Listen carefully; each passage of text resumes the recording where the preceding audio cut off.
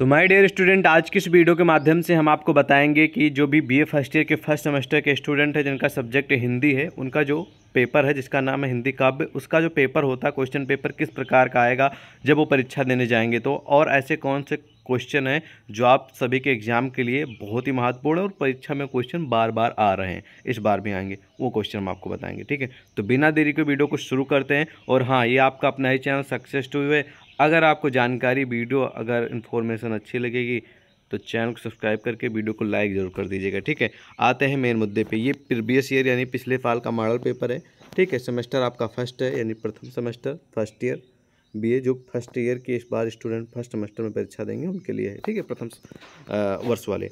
Subject आपका Hindi literature है, और प्रश्न पत्र क्वेश्चन पेपर का नाम हिंदी काव्य है, ठीक है? और आपको यहाँ पर पूर्णांक दिखेगा कि जितने का भी होगा, पचहत्तर का पूर्णांक ही रहता, समय दो घंटे का मिलता है ये आप सभी को मालूम ही है।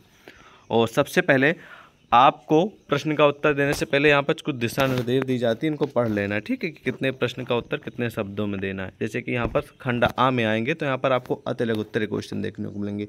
उत्तर में यहाँ पर लिखा रहता है कि तीन क्वेश्चन करने के पाँच करने हैं कि दस करने हैं। जितने भी क्वेश्चन करने होंगे, जितने क्वेश्चन का आंसर करना होगा, वो लिखा होगा। जैसे कि यहाँ पर तीन लिखा तो तीन का करना, अगर यहाँ पर दस लिखा होगा आपकी परीक्षा में तो दस का उत्तर देना होगा, पाँच लिखा होगा तो पाँच का देना होगा, ठीक है? और आपको पचास शब्दों में हर एक प्रश्न का उत्तर देना है और हर एक क्वेश्चन के उत्तर देने पर आपको तीन नंबर मिलेंगे, ठीक है? ये अलग अलग यूनिवर्सिटी में जो ये नोटिस है, ये दिशा निर्देश है अलग अलग हो सकती है जो, लेकिन जो क्वेश्चन है, वो सभी यूनिवर्सिटी के लिए महत्वपूर्ण है। तो पहला प्रश्न है कि राम भक्त शाखा के प्रमुख कवियों के नाम लिखिए। बहुत ही रामबाण, बहुत ही हंड्रेड परसेंट आने वाला क्वेश्चन है, ठीक है?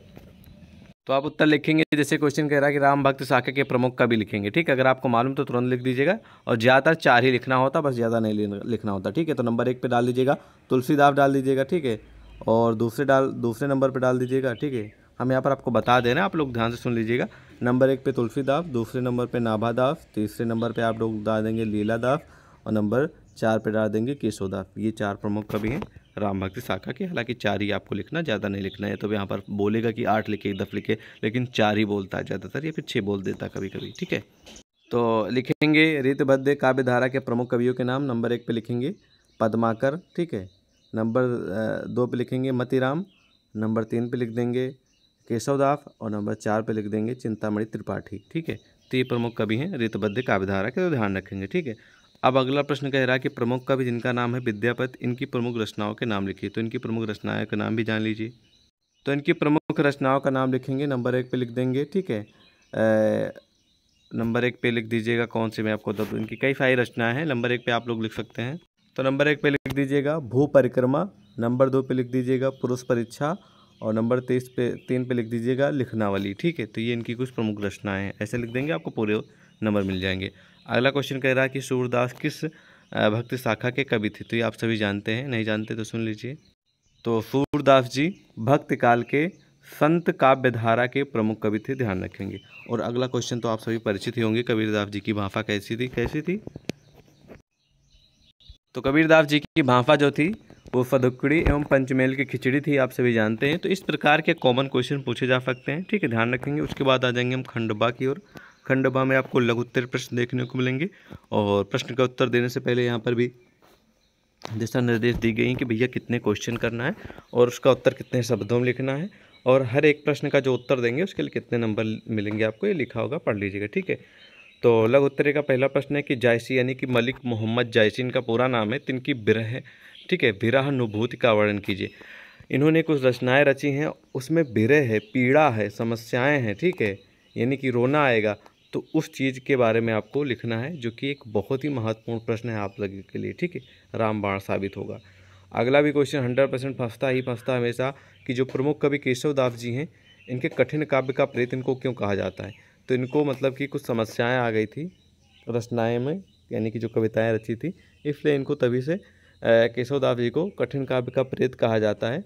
तो ये बात किस लिए कहा जाता है, इसके बारे में आपको एक्सप्लेन करके लिखना है। कम से कम आपको कितने शब्दों में ऊपर बताया भी तीन सौ शब्दों, ढाई सौ शब्दों में लिखना पड़ेगा, ठीक है? ढाई सौ से तीन सौ शब्दों में। और बहुत ही महत्वपूर्ण प्रश्न ध्यान रखेंगे। परीक्षा में कई बार रिपीटेड बार भी आएगा पक्का। एक क्वेश्चन आपको गोरखनाथ से जुड़ा क्वेश्चन देखने को मिलेगा। गोरखनाथ के अनुसार मन की चंचलता कैसे समाप्त होगी? तो हर एक इंसान का मन जो है चंचल है, और हर एक इंसान का जो मन है उसको कंट्रोल कर पाना सबकी बस की बात नहीं है। और इसको कंट्रोल करने के लिए सबसे ज़्यादा योगा है मोटिवेट रहना, गीता पढ़ना, ठीक है मोटिवेशन थॉट सुनना, तब जाके आपका चंचल नहीं हो सकता। बाकी ये सब चीज़ें हर इंसान कर ही नहीं पाता तो मन चंचल ही रहता है। और इसके करने के यही सब कुछ तरीके हैं, जिनके बारे में आप लोग लिख सकते हैं। और अगला प्रश्न है, भक्ति सॉरी विद्यापति से जुड़े एक दो क्वेश्चन आते हैं परीक्षा में। तो विद्यापति जो कि एक प्रमुख कवि हैं, ठीक है, विद्यापति भक्त हैं, यानी कि बहुत ही प्रमुख भक्त हैं अथवा श्रृंगार कवि हैं, इसके बारे में आपको स्पष्ट करना है कि विद्यापति जो हैं वो भक्त हैं या फिर श्रृंगार के कवि हैं। बहुत ही महत्वपूर्ण प्रश्न साबित हो सकता है एग्ज़ाम के लिए, कई बार रिपीटेड भी है। अगला प्रश्न है कि विद्यापति के काव्य सौठों का वर्णन कीजिए। विद्यापति से जुड़े इसी मॉडल पेपर में तीन प्रश्न पूछे जा चुके हैं। पहला ये, दूसरा ये, एक ऊपर अतलग उत्तर में ठीक है? तो एक दो प्रश्न तो फंसेंगे फंसेंगे। ये वाला आता है, लेकिन बहुत कम आता, आप इसे इग्नोर कर सकते हैं। और महादेवी वर्मा जी से जुड़ा हुआ क्वेश्चन एक आएगा तय है। अब कौन सा आएगा, इसकी कोई गारंटी नहीं, लेकिन एक ज़रूर आएगा, जो आपके वे फ़र्स्ट ईयर के फ़र्स्ट सेमेस्टर में महादेवी वर्मा जी का जो सिलेबस है, जो लेसन है पार्ट है, उससे संबंधित आपको प्रश्न तैयार कर लेना बस, ठीक है? तो महादेवी वर्मा के काव्य यानी कि जो रचना है, उसमें बिरह अनुभूति पर एक संक्षिप्त टिप्पणी लिखी। बिरह है जो समस्या है जो पीड़ा है, ठीक है? जो रोना आ रहा है, उसके बारे में आपको लिखना है, ये क्वेश्चन कह रहा है, ठीक है? चलिए, अब आ जाएँगे नेक्स्ट क्वेश्चन को नेक्स्ट क्वेश्चन मैं लिखा है कि निम्नलिखित में से किन्हीं दो पदों या फिर पदों या फिर दो पैराग्राफ की संदर्भ सहित व्याख्या कीजिए, ठीक है? तो संदर्भ सहित व्याख्या करने के लिए भी आता है। यहाँ पर आपको दो पैराग्राफ या फिर दो पद दिए जाएँगे। कहीं कहीं पर पैराग्राफ आते हैं, कहीं पर पद आते हैं। तो इसमें आपको यही लिखना होता है कि भाई ये जो पद है या फिर ये जो पैराग्राफ है, किस लेखन से लिया गया है और इसके राइटर कौन है?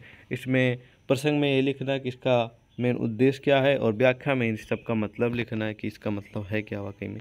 तो ये संदर्भ सहित व्याख्या आपको इस तरह करनी होगी और संदर्भ सहित व्याख्या हमेशा एक ही नहीं रिपीट होती, वो बदला करती है। तो इसकी कोई गारंटी नहीं, लेकिन क्वेश्चन जो है, वो बार बार रिपीट होते रहते तो उनकी हम गारंटी ले लेते कि हाँ ये प्रश्न फंसेगा, ठीक है? तो ये वाला पोर्सन हम इग्नोर करेंगे मतलब कि संदर्भ सहित व्याख्या वाला, ठीक है?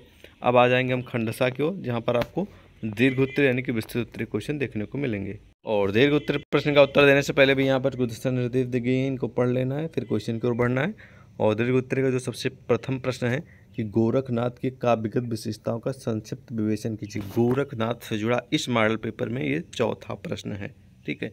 तो दो प्रश्न ज़्यादातर हँसते हैं हमेशा, ठीक है?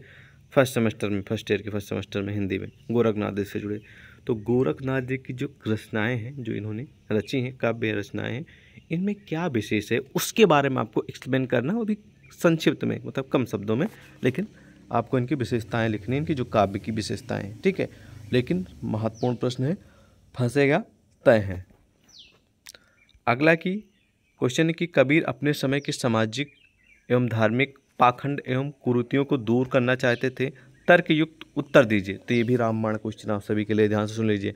कबीरदास जी का जीवन परिचय, प्लस कबीरदास जी की प्रमुख रचनाएँ प्लस इनके काव्य की जो विशेषताएँ हैं वो और कबीरदास जी समाज सुधारक हैं और धर्म सुधारक हैं। इन दो बातों को भी ध्यान रखते हुए आपको इन दोनों प्रश्नों के बारे में मतलब कि धर्म सुधारक हैं, तैयार कर लीजिएगा और प्लस समाज सुधारक हैं, ये भी तैयार कर लीजिएगा और ये पक्का फंसता है हमेशा, ठीक है? और अगला जो प्रश्न आप लोगों के समझता है कि पद्मावत पद्मावत पद्मावत एक बहुत बड़ा महाकाव्य है और महाकाव्य में नागवती का जो बिरा है, जो पीड़ा है, उसका वर्णन अद्वितीय है। इसके बारे में आपको सिद्ध करना है और एक बहुत ही महत्वपूर्ण प्रश्न है, जिसको आपको ज़ोर तैयार करना है। ये जो पद्मावत है, महाकाव्य, इसके जो राइटर हैं, वो मलिक मोहम्मद जायफी जी हैं तो इस बात को भी ध्यान रखेंगे। और बहुत ही महत्वपूर्ण प्रश्न है आपके सिलेबस का है भी फ़र्स्ट फ़र्स्ट सेमेस्टर का तो आएगा तय है। ओके ओके नेक्स्ट क्वेश्चन आप लोगों की समझ प्रस्तुत है कि बिहारी जी रीतकाल के प्रतिनिधि का भी हैं, स्पष्ट कीजिए। मतलब जो बिहारी जी हैं ये रीत काल के कभी हैं ना? ये बात कैसे पुष्टि हो सकती है? इसके बारे में आपको सिद्ध करना है, ठीक है? प्रतिनिधि कवि, ये आपको लिखना है। और ये भी आप सभी के लिए महत्वपूर्ण प्रश्न है, कई बार रिपीटेड है और उम्मीद है कि फंसेगा, उम्मीद पूरी है, ठीक है? तो ये रहा पूरा का पूरा बी ए फ़र्स्ट ईयर के फ़र्स्ट सेमेस्टर हिंदी काव्य का मॉडल पेपर क्वेश्चन पेपर जो कि बहुत ही आप लोगों के लिए इंपॉर्टेंट क्वेश्चन वीडियो मैंने बताए हैं। और इस मॉडल पेपर से जो जो मैंने क्वेश्चन आपको बताए, इनको ज़रूर तैयार कर लीजिएगा। और ये क्वेश्चन आपकी परीक्षा में 99 परसेंट फंसेंगे फंसेंगे। और इन सभी प्रश्नों का उत्तर चाहिए तो आपको वीडियो के डिस्क्रिप्शन में टेलीग्राम व्हाट्सअप का लिंक मिल जाएगा। अगर आप उस पर मैसेज करेंगे तो हम क्वेश्चन आंसर वाली पीडीएफ सेंड कर देंगे। बाकी हमने आप सभी के लिए वेबसाइट भी प्रिपेयर कर ली है, जिसका नाम है डियर स्टूडेंट डॉट इन उसका भी लिंक वीडियो के डिस्क्रिप्शन मिल जाएगा। उस पर भी आपको पूरी स्टडी मटेरियल ठीक है प्रोवाइड की जाएँगी तो उससे भी ज्वाइन करिए, आप पूरा ऑनलाइन पढ़ाई कर सकते हैं, ठीक है? स्टूडेंट डॉट इन ये वेबसाइट का नाम है, ठीक है? इससे भी आप लोग तैयारी कर सकते हैं ओके मिलते हैं एक और नए वीडियो के साथ, जब तक ले जय हिंद।